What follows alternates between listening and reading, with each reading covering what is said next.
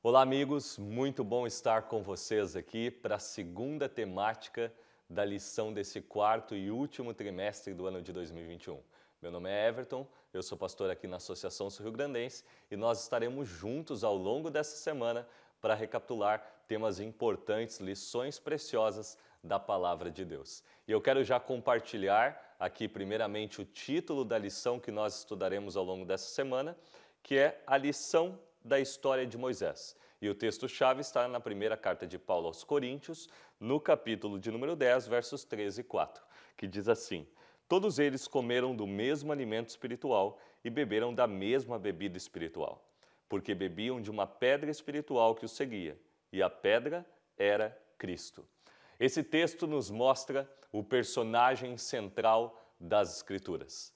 A Bíblia tem uma temática aqui que nos mostra nos aponta a pessoa de Cristo. Jesus é o personagem central de toda a Bíblia. E no livro de Deuteronômio, obviamente, isso não é diferente. Já no primeiro verso, embora nós encontremos que ali estão as palavras de Moisés, o personagem central não é Moisés. O personagem central é Cristo.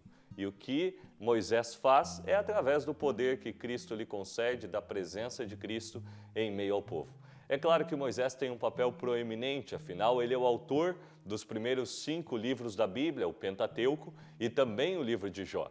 A história da criação, ali no princípio, é relatada por Moisés. As primeiras coisas que acontecem no mundo são relatadas por Moisés. Porém, o personagem central de tudo é a pessoa de Cristo. E já no princípio do livro de Deuteronômio, Moisés nos ensina uma preciosa lição. Moisés convida o povo a olhar para o passado e lembrar o que Deus havia feito.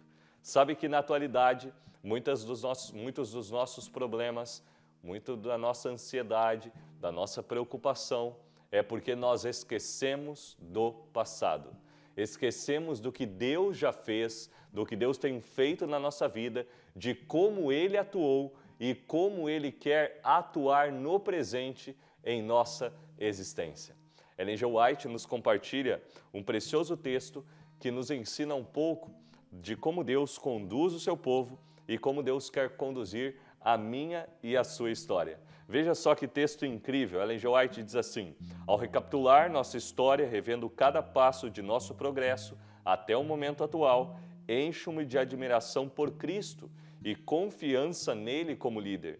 Nada temos a temer em relação ao futuro a menos que nos esqueçamos da maneira pela qual o Senhor tem nos conduzido e de seus ensinos em nosso passado.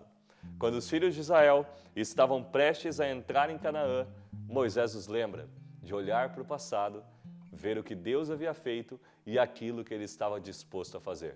Eu hoje te convido a lembrar do que Deus já fez em tua vida. Quantas bênçãos Deus já te concedeu Quantas vezes o Senhor esteve ao teu lado e ao se lembrar das bênçãos de Deus, você terá confiança para seguir adiante. Essa é a convicção que podemos ter para esse dia e para essa semana. Se você crê nisso, eu gostaria de convidá-lo para que você feche os seus olhos e nós possamos orar ao Senhor. Querido Deus, muito obrigado, porque o Senhor é um Deus poderoso, um Deus que atuou no passado, um Deus que atua no presente e promete que estará no controle da história também no futuro. Pedimos que nos ajude a cada dia a confiarmos mais nisso, a relembrarmos as bênçãos que o Senhor já nos concedeu e que isso nos traga confiança no presente. Pedimos isso em nome de Jesus. Amém. Um excelente dia para você e que Deus o abençoe.